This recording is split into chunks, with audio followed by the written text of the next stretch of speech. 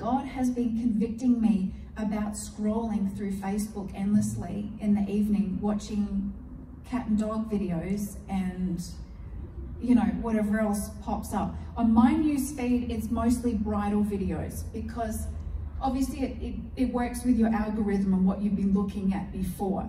I love, you know, those shows where they, they say yes to the dress and they choose their dresses. I love those shows.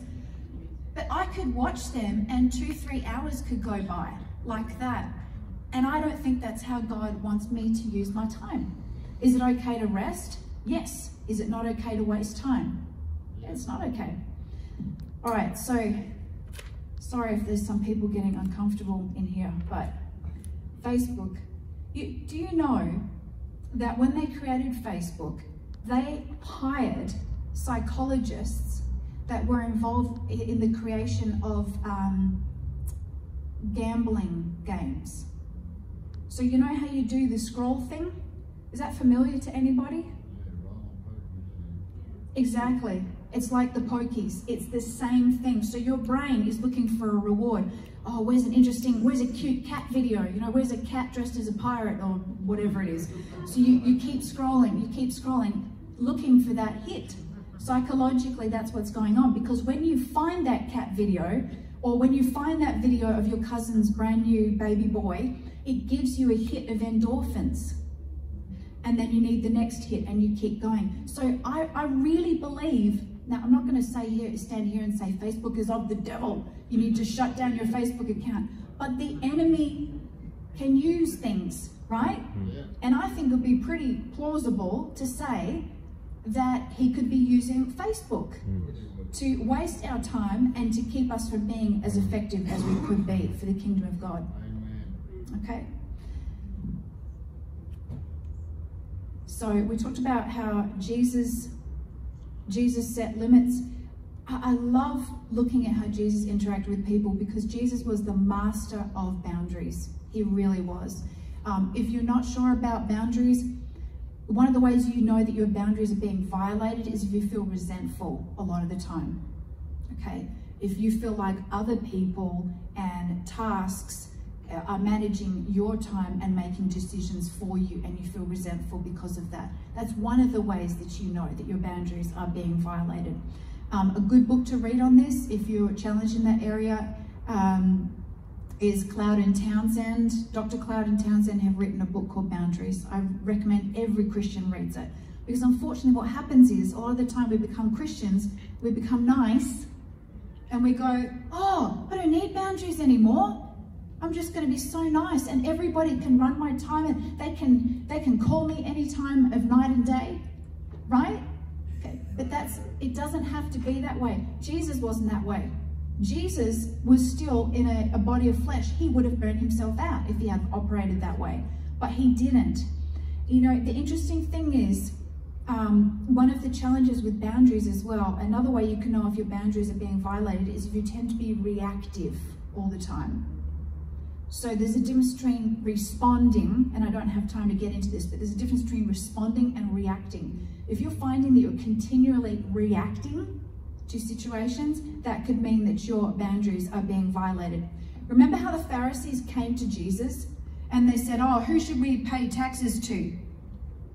Jesus could have reacted in fear, because fear is one of the major things that will make you react. He could have reacted in fear and said, oh, uh, who, who do you think that we should pay taxes to? But he didn't. He grabbed a coin and he said, whose face is on this? So he put the ball back in their court. So when people are trying to trespass your boundaries, you can take a leaf out of Jesus' book and put the ball back in their court. Allow others to take responsibility. Never take responsibility for others where they should be taking responsibility. That will rob you of your peace. And you know what? If you don't have peace, that leads to burnout. Everything should be done from a place of peace. Do you know that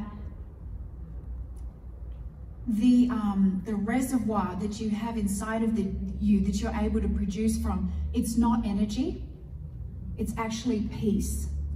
Peace produces energy, which enables you to do stuff. don't have peace, you won't have energy, you won't have the output. Does that make sense? We need peace. Peace is the reservoir, not energy. Energy comes out of the peace. Number three, don't forget that you are flesh and blood. Look after your body. Amen. Care for your body. Okay? If you if you struggle like me with um, popping sugar in your mouth every time you get stressed, yeah? Anybody else? Just me? Okay. Thank you for those pants. I didn't ask for them, but I appreciate that. Stop it.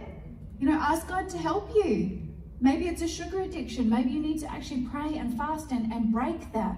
You know, and those are some of the things that I'm looking at doing. But be, um, use metacognition. So metacognition is thinking about what you're thinking about. So stop and think, why am I putting this in my mouth? Why am I reaching for a chocolate bar every time I'm um, trying to get my work finished or meet a deadline for work or whatever it is? Okay? So think about what you're thinking about. It's interesting that in times of intense activity for Jesus, what do we find him doing? Resting. What was he doing in the boat? Resting. Sleeping, resting. He'd had a tough day. And uh, there's this book that I love. It's by Wayne Cordeiro, so it's by our pastor of New Hope in Hawaii. And some of you may have read this, some of you may not. I recommend that every person in ministry and even every Christian reads this book because it will prevent you from crashing and burning. It's called Leading on Empty. Okay, so he, he talks about a lot of this stuff that we're talking about today. Um, but one of the things that he says is when you go through times of intense activity, it's important to put in as much, um, as many activities that recharge you to replenish that time that you're giving out. So the harder, the more intense time you're going through, the harder you should be resting, the harder you should be relaxing. Does that make sense? You've got to put in what you're giving out.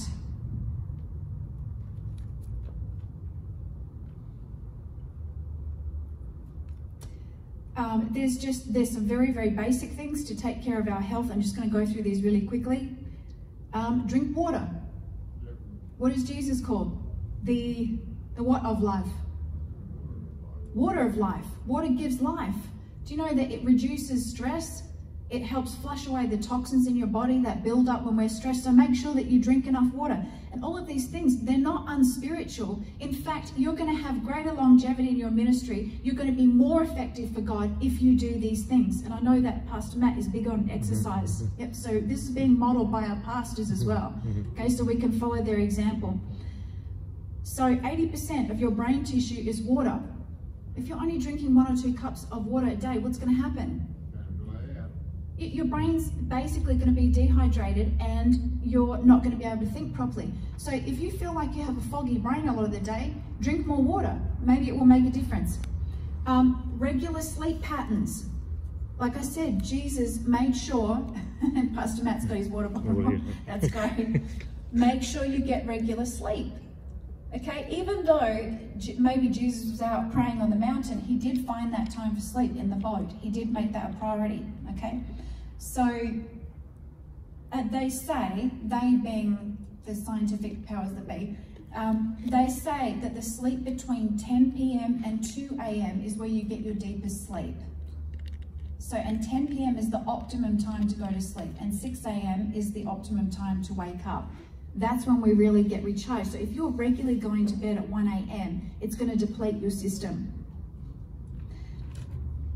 I want you to do me a favor. Close your eyes for a moment. Everybody, everyone in the room, close your eyes. Okay.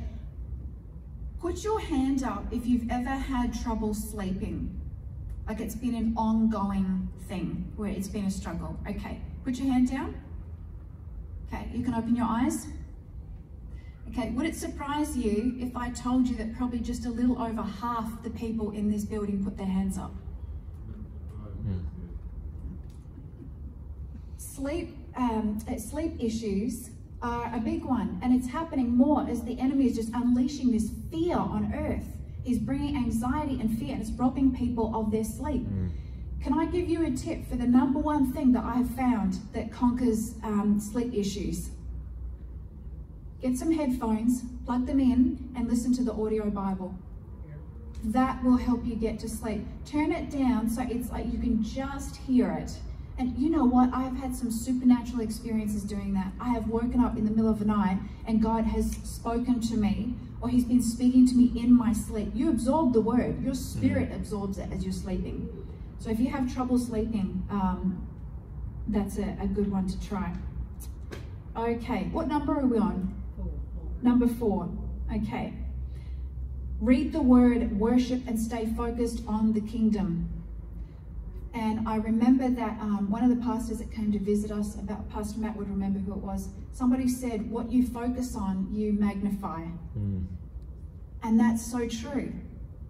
What you focus on, you will magnify. If you're focusing on coronavirus, you will magnify it in your heart and in your mind, in your life. If you're focusing on politics, you will magnify it in your life. And whatever you magnify becomes the dominant influence in your life. The peace of God is no longer driving you. Also, when we don't have peace, we're more likely to sin. Okay, so that's when we're more vulnerable. That's when the enemy is going to come in and say, hey, just have a look at this on your computer. It, it'll make you feel better. Or maybe you should watch this this movie. You know, you wouldn't usually, but go ahead. You know, you've had a really stressful week. Okay, or it could be in other areas. But the enemy is very quick to pick up when we are tired and vulnerable. When did he visit Jesus in the desert? Was it at the beginning of the fast? No. it was when he was well into it. He he waited and he took his opportunity. Um, so that's why it's important to do these things like resting. And you know, the solution to not sinning is not to try harder. That rarely fails because all that does is that makes us focus on the sin more, and we magnify the sin. It becomes bigger and bigger until it's like, ah, I can't overcome this thing. It's so big. But God gives us the solution. He says, seek first the kingdom of God. Amen. If you redirect your energy to the things of God, that's gonna you're gonna stop focusing on I'm not gonna sin, I'm not gonna sin, I'm gonna sin. If you say that, what's gonna happen? You're gonna sin. You're gonna do it. Okay, so redirect your energy to the things of God. Okay, number six. Number five.